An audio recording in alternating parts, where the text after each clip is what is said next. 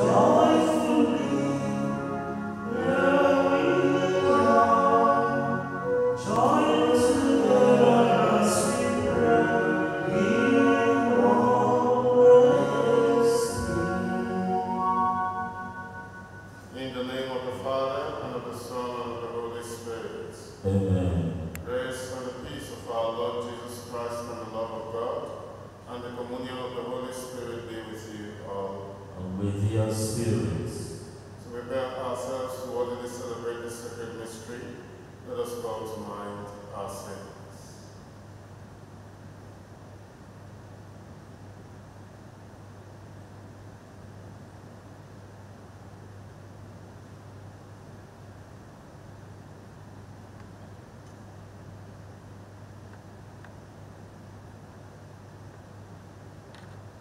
I confess to Almighty God and to you, my brothers and sisters, that I have greatly sinned in my thoughts and in my words, in what I have done and in what I have failed to do. Through my faults, through my faults, through my most grievous faults. Therefore, I ask the Blessed Mary, ever Virgin, all the angels and saints, and you, my brothers and sisters, to pray for me to the Lord our God. May the Almighty God have mercy on us, forgive us our sins, and bring us to life everlasting. Amen. Lord, have mercy. Lord, have mercy. Christ, have mercy. Christ, have mercy. Lord, have mercy. Lord, have mercy. Let us pray. O God, strength of those who hope in you, graciously hear our pleas, and since without you mortal frailty can do nothing, grant us always the help of your grace, that in following your commands we may please you by our resolve and our deeds. Through our Lord Jesus Christ, the Son, who lives and reigns with you in the unity of the Holy Spirit, one God, forever and ever. Amen.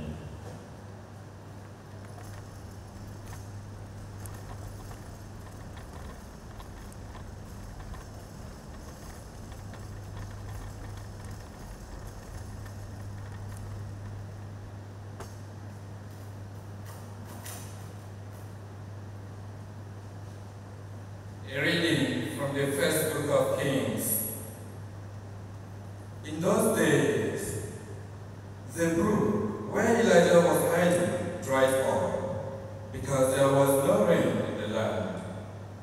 Then the word of the Lord came to him Arise, go to Zarephath, which belonged to Sidon, and dwell there.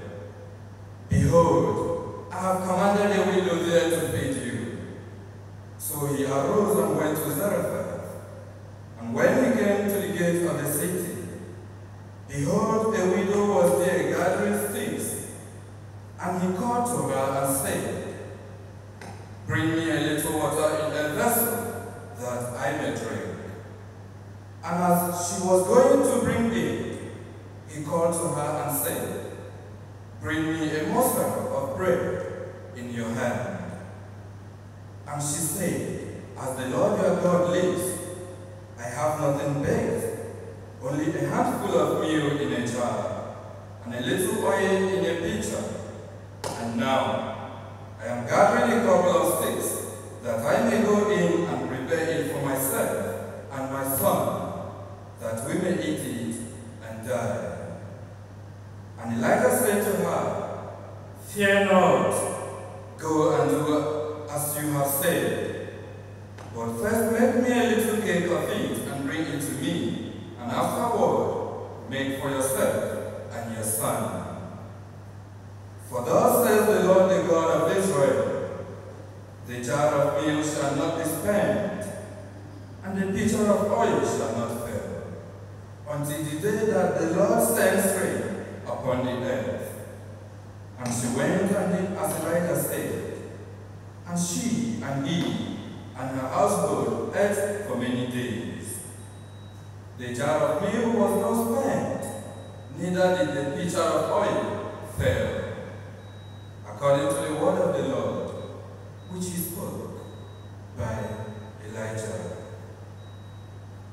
The word of the Lord. Thanks be to God.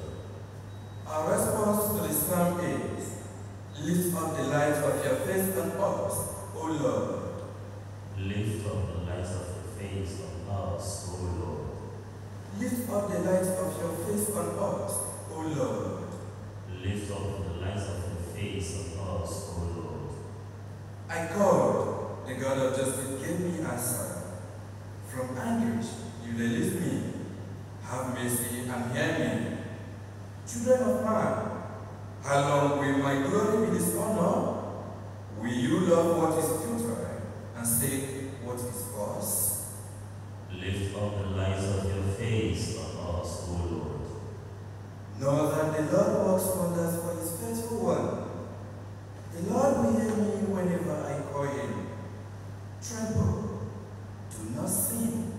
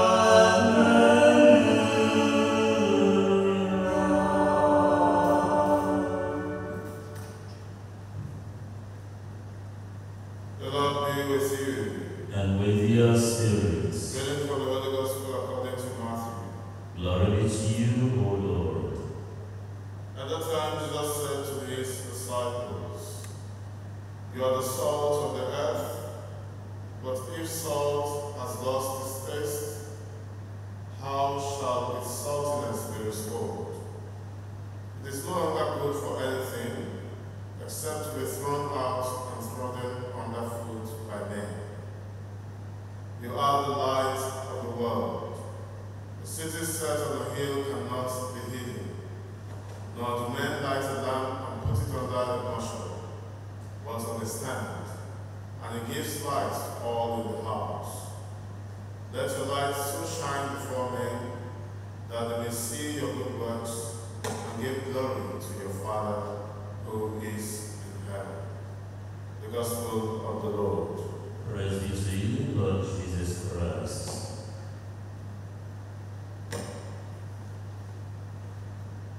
My dear brothers and sisters in Christ, yesterday we heard from our first reading how God fed Elijah in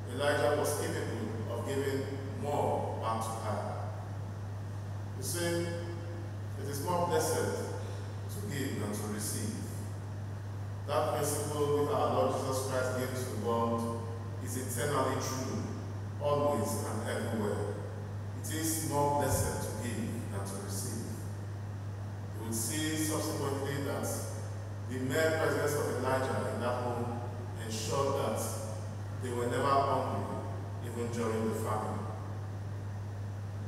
The mere presence of Elijah in that home ensured that even when the son of the widow died, he was raised back to life. But she gave before she received. So let us also think of those moments where when God gives us the opportunity to be of help to others. Let us realize that we gain more by doing good to others than we do to ourselves. Okay? When you give to others, you are helping yourself more than the person that is in need.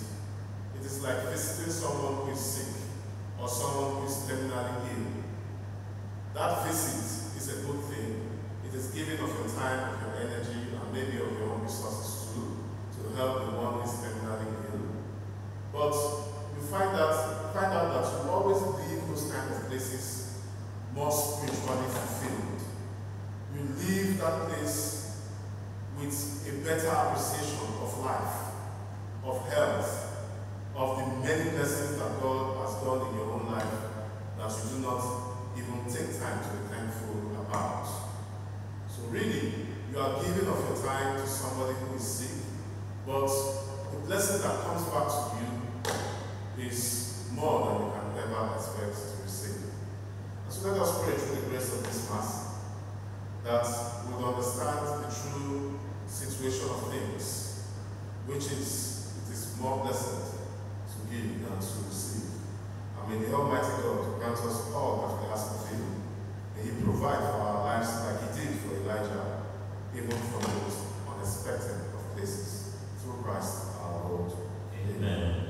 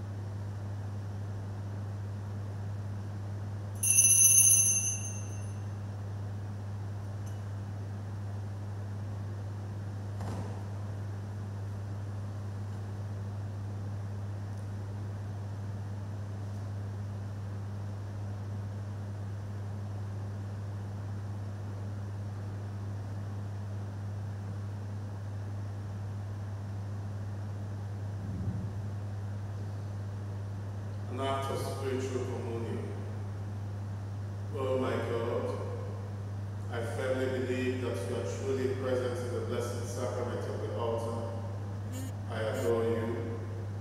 I love you above all things and desire with all my heart to receive you into my soul. But since I cannot now receive you sacramentally, come at least spiritually into my soul and dwell.